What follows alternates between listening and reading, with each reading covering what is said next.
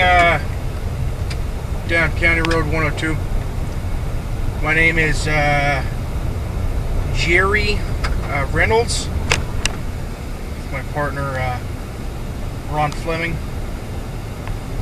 Uh, we are currently five miles away from uh, reported squatch zone.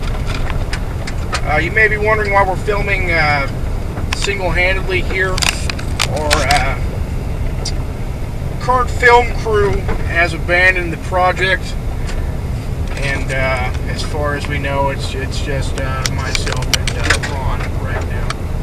So uh, the rest of our uh, season and our show is going to be filmed like this until we can find a, a crew, a better crew. Uh, so a lot of farmland out here. We're currently in northeast Oklahoma. Uh, with reports, uh, several reports of a, a Sasquatch by this area known as Rand Lake. So uh, it's quite a, quite uh, hot today. Current uh, temperature is 91 degrees. Uh, so uh, we're just uh,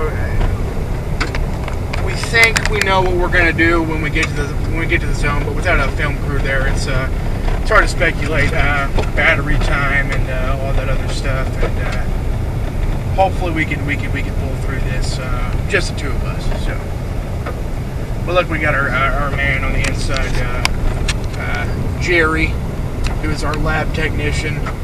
Uh, he's he's never currently on site with us but we send him a lot of our documentation and a lot of our uh, hair samples, uh, scat or uh, fecal samples if you prefer.